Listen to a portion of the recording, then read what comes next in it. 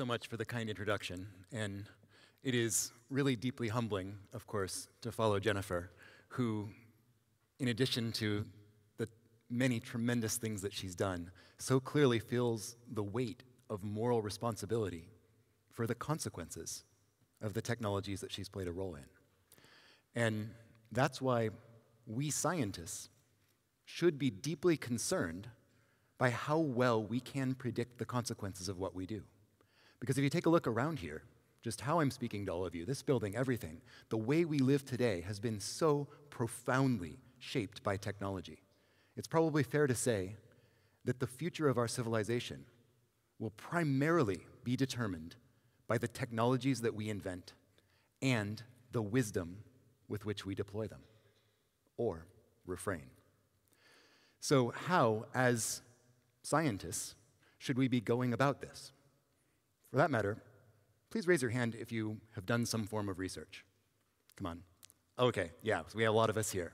So, how do you know that your work might be at risk? Well, I don't know how many of you have ever seen the webcomic XKCD, but the author of that webcomic decided to help us out. And here we have a plot of different fields of science. This is everything from astronomy to molasses storage, which is an inner, inner, inner city Boston joke but it plots everything by the risk that your research will be used by a supervillain for world domination, against the risk that your research will, the subject of your research will escape from the laboratory and threaten the local population. Now, when I saw this, I thought, wow, okay, this explains why I'm so concerned. Because in my laboratory, of course, we work on genetic engineering, microbiology, and to do that, we work with a lot of robotics. And, well, yeah, okay. But I'm actually not quite so sure that genetic engineering deserves its pride of place in the upper right corner there. And the reason is something that Charles Darwin said. He said, Man selects for his own good, nature for that of the being which she tends.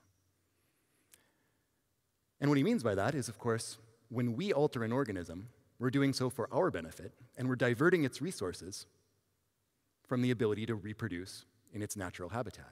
Meaning, if we release a selectively bred organism or a CRISPR edited organism into the wild, it will be outcompeted by its wild counterparts almost every time. But there are, of course, genetic elements in the wild, natural genetic elements, that can spread through populations even if they don't help the organisms reproduce. These are called gene drive systems. The phenomenon is gene drive, and it's completely ubiquitous. By current estimates, more than half of our own DNA comprises broken remnants of gene drive systems of a particular kind. And it's nearly impossible to find a sequence genome that doesn't have gene drive remnants somewhere in it. But with CRISPR now, we can harness gene drive and potentially make organisms in the lab that then, if released, would spread that change through wild populations, thereby affecting entire ecosystems. So I would say that wherever genetic engineering is, gene drive is further up and to the right. So, how does it work? Well, if we deliver into the reproductive cells of an organism the DNA change that we want to make in that organism, we also deliver in CRISPR components and guide RNAs. But if you want to build a gene drive, you encode the CRISPR system and the instructions for making the change into the DNA that you're going to insert next to the change you want to spread. So you put this into the cell, it produces the CRISPR components, cuts the target site on the genome, inserts your new sequence. So now, this organism's genome has the instructions for using CRISPR on its own, meaning it's going to continue to produce the CRISPR components, it's going to cut the other chromosome and copy itself over. Now, here's where the magic happens. When this organism mates, now it has two edited copies, so all of its offspring are guaranteed to inherit one. And in those offspring, in their reproductive cells, editing happens again. CRISPR cuts the original version, replaces it with the new one. Meaning, when these organisms mate, all of their offspring will inherit. And editing happens again and again and again and again. So, again, this is a naturally occurring phenomenon it's called a homing based gene drive system. But with CRISPR, we can harness it. When we first pointed this out a few years ago, we did so before we actually tested it in the lab, which is pretty controversial. You don't normally do that. We could have been wasting people's time. But as it turns out, it really does work, and now it's been demonstrated in several different organisms. What might we want to do with this? Well, I confess when uh, in that original paper we suggested quite a lot of potential uses of this, but I've changed my mind about some of them. I think that this form of gene drive, which is called a self propagating gene drive because it can spread itself indefinitely, is really only well suited for a handful of applications. And I want to highlight a few of them here. The first is malaria. Now, in the time I've been speaking, malaria has infected some 10 to 20, 10,000 people, and it's killed five children just in the time that I've been speaking. Out of the 3,500 species of mosquito in the world, three of them are responsible for the majority of malaria cases. So if we used a gene drive system to either alter those mosquitoes so that they couldn't transmit malaria or suppress the population, and this one is probably more reliable, by spreading genes such that if a mosquito inherits two copies, it's infertile, that will suppress the population to a level that is low enough that malaria transmission won't be able to be sustained. So, combined with conventional measures like bed nets and malaria treatments, we might be able to eradicate the disease forever. And this project is being led by Austin Burt, who first described the possibility that homing based gene drive might be harnessed. And they have some incredibly promising mosquito strains. Not evolutionarily stable yet, but the point being, it's not the technical barriers in the way right now. Schistosomiasis. It's the worst of the neglected tropical diseases. You wade into fresh water, it's a little blood fluke, it burrows through your skin, infects you. It can be lifelong if not treated appropriately. And schistosomiasis, in the time I've been speaking, has infected probably some 12,000 people, and it's killed one child. It also causes cognitive growth stunting. So it's, it's a pretty nasty disease. But schistosomes are sexually reproducing. And there's a lot of gene flow between them, meaning that we could suppress the schistosome population with a gene drive directly. And combined with treatments, we might be able to eradicate this disease. And finally, of course, this is Australia, right? You're familiar with organisms that have all sorts of nasty toxins and things like that in, in the environment, right? You're famous for that. But I would have to say that we in the Americas have the world champion when it comes to a species that, whose very life cycle is a moral atrocity. This is the New World screwworm, Cochliomyia hominivorax, the man devourer. And graphic image warning what this thing does is it lays its eggs in open wounds of mammals specifically. And unlike most maggots, which only devour dead tissue, these ones eat the healthy tissue, and they release a pheromone that calls more screwworm flies. So the animal ends up being eaten alive by flesh eating maggots. This does happen to some people, so we know just how agonizing it is. It is so agonizing that in order to treat a patient, doctors typically have to give them morphine first. So, right now, at this very moment, probably billions of mammals are infested with these screwworm flies and are suffering horrendous agony. With gene drive, we could potentially do something about it. What's also noteworthy is that this species is absent from North America because we already eradicated it, but it's more entrenched in South America. Should we continue that process?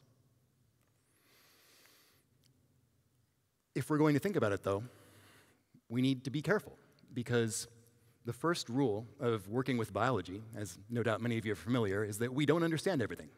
And that's especially true when it comes to ecosystems. And when you're trying to engineer a complex system you don't completely understand, we should at least be humble enough to admit that we can't completely predict what's going to happen. We might have an idea, but it's never going to be perfect. And so I have two operational rules. Number one, you always want to make the smallest possible change that can solve the problem, because then hopefully that will have the fewest possible side effects. Rule number two is you want to start small and only scale up if warranted. And it's this second rule that is a problem, because how do you start small with a self propagating gene drive?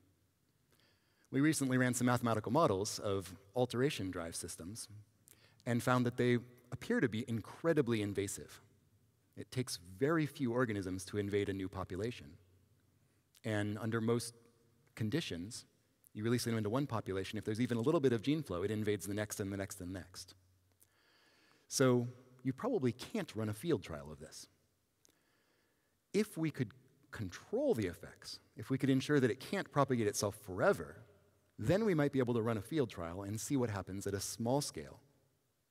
We might also be able to potentially solve problems without affecting many nations at the same time. So, how do you do that? Well, our current best idea is what's called a daisy drive. And we call it that because we take a CRISPR based gene drive and we separate the components and scatter them across different chromosomes. And they're linked in a daisy chain. So, element C has the instructions telling CRISPR to cut the wild type locus for element B, thereby copying it. B has the instructions that cause A to be copied. But there's nothing here that causes C to be copied. C is a normal engineered gene, meaning it's never going to increase in the population. In fact, it's probably only, go, only going to go down. So if you have C remain constant, B goes up, and the more B goes up, then A goes up. But of course, in reality, natural selection is dragging all of these down because natural selection has no mercy. So the net effect is kind of like a multi stage rocket. That is, you increase the frequency of each stage proportional to how far it is down along the chain.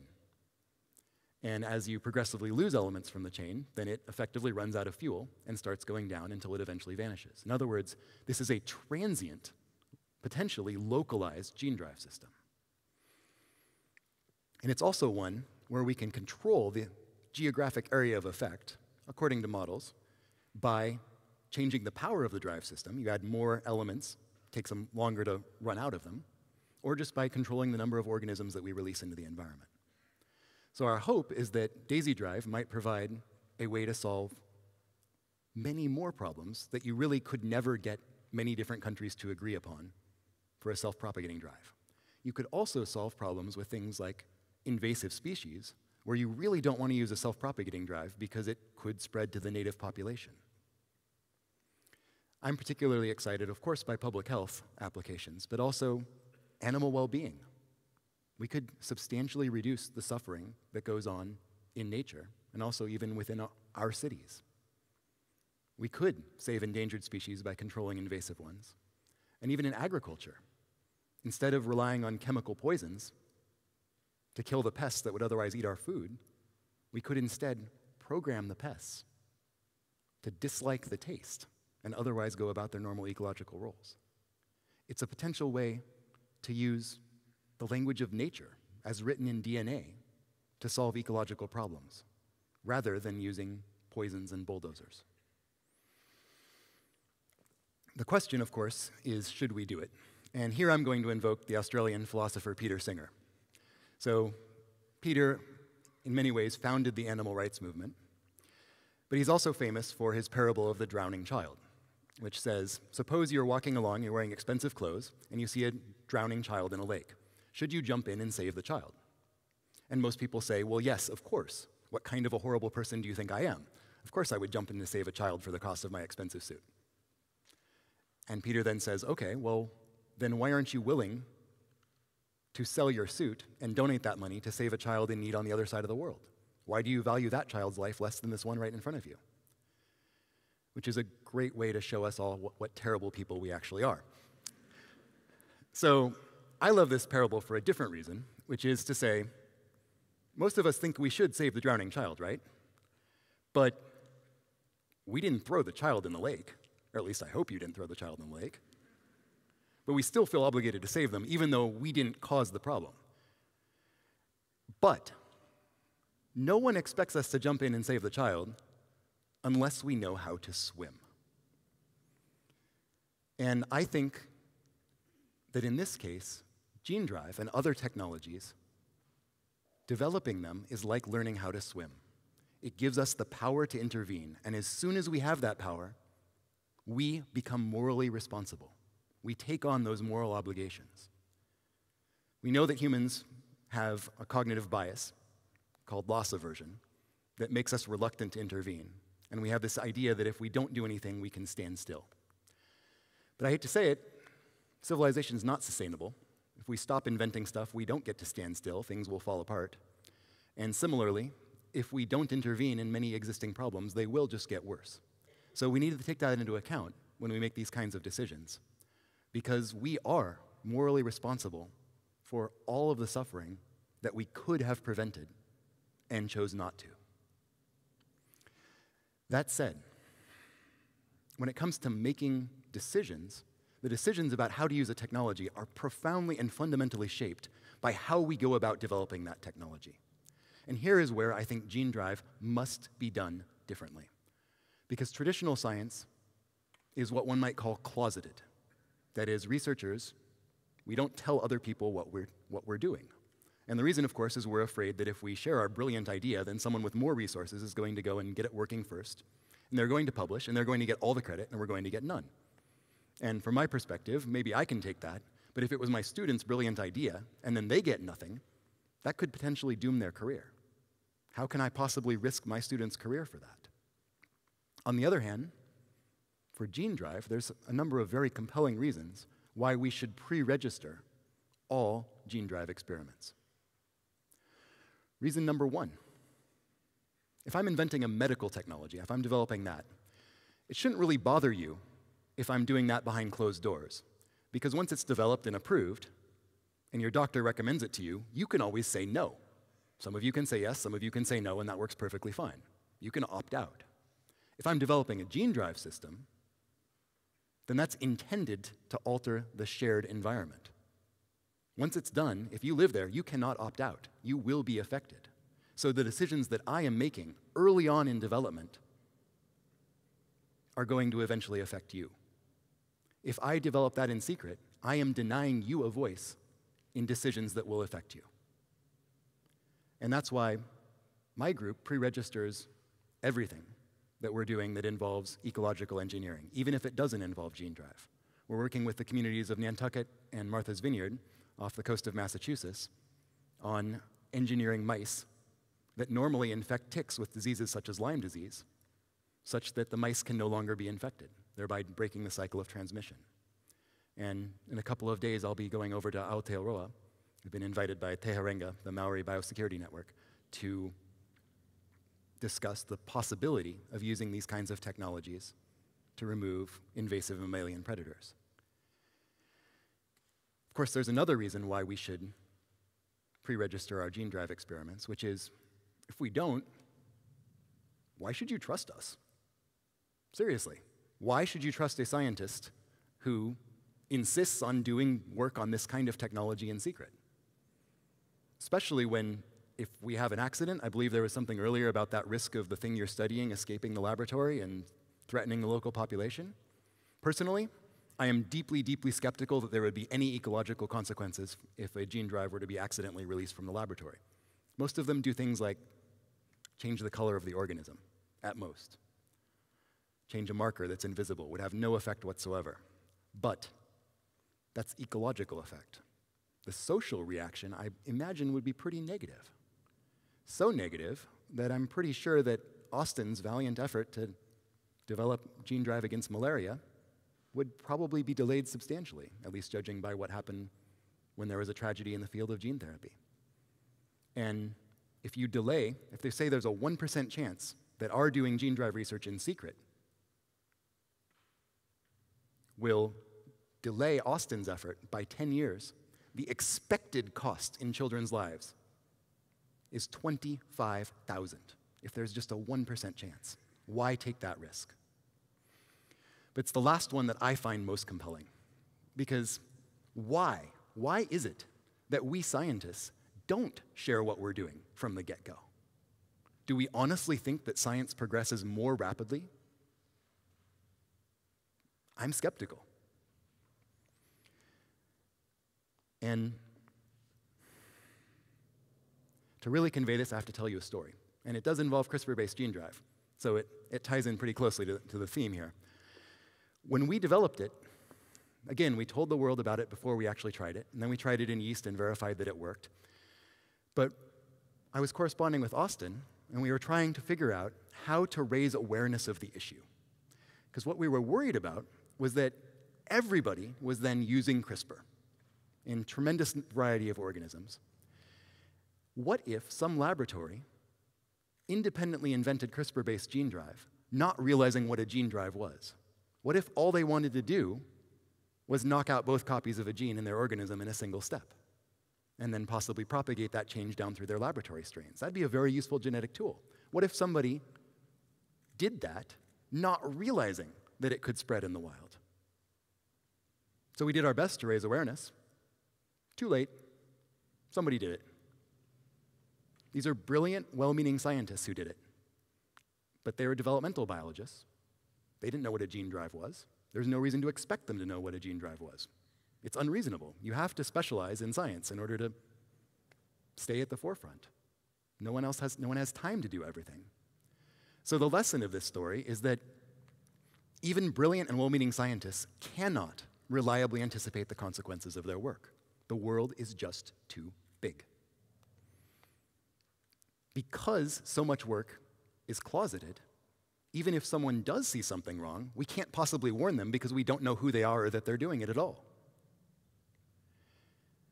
Finally, six years ago, no one imagined that we would have a tool that would work in so many different species in terms of editing their genomes. And certainly, no one imagined that we might be able to edit entire wild populations. I'm a huge science fiction buff, and I know a lot of other huge science fiction buffs at the MIT Media Lab. And none of us has been able to find an example anywhere in science fiction that even suggests this idea. It seems to have been completely unprecedented, and yet now we think we can do it, which just goes to show you that our technological capabilities can increase very suddenly and in very unexpected directions. Put all this together, and it's a little bit concerning. So, my hypothesis is that open science will be not just faster and more efficient because we can intelligently decide to collaborate or compete based on what we know other people are working on, are interested in, and can now do. I think it will also be safer. Because if you do want to anticipate consequences, the best way to do it is to invite others to share their wisdom. So, the reason why we share everything that we do all of our grant proposals are online, experiments pre registered, is because I want as many people as possible to take a look at it and try to identify something that might go wrong that we haven't thought of. For Mice Against Ticks, someone on Nantucket who just happened to come to a town hall meeting already thought of something that none of us had thought of that might well change how the de- deployment might eventually happen on that island if they decide to go forwards with it. So this really can work. People will come up with things that we have never considered and it can make things not just safer, but also more effective. But we depend on science. We need new inventions. And remember rule two of ecological engineering start small and only scale up if warranted. So we don't want to change how all of science is done. That would be profoundly reckless and irresponsible. What we need is a small scale field trial of a more open way of doing science. So I propose that Gene Drive be that field trial. If we want it to happen, we have to change the incentives for scientists working with Gene Drive. That means that universities, who make hiring decisions, funders, who fund our work, journals, who publish it and thereby determine recognition, all need to get together and change the incentives for gene drive research. But that's a collective action problem. None of them wants to do it unless all of the others do, which is why intellectual property, which is normally not something we think of as a very progressive tool, could actually be very useful because there's key intellectual property that is required to build this kind of gene drive system. If the holders of intellectual property came together and said, any gene drive product needs to have been developed in the open if it's going to be licensed, then that could get the ball rolling, and then the others might move along. So I think that that could end up being more important than any actual application of Gene Drive. Because the world is an incredibly bright and promising place, but we need to get there. I think we can do it. But we need to get there together. So when it comes to science, I think we need to open the doors, part the clouds, and let the sunlight in. Because only together can we, can we be wise. Thank you.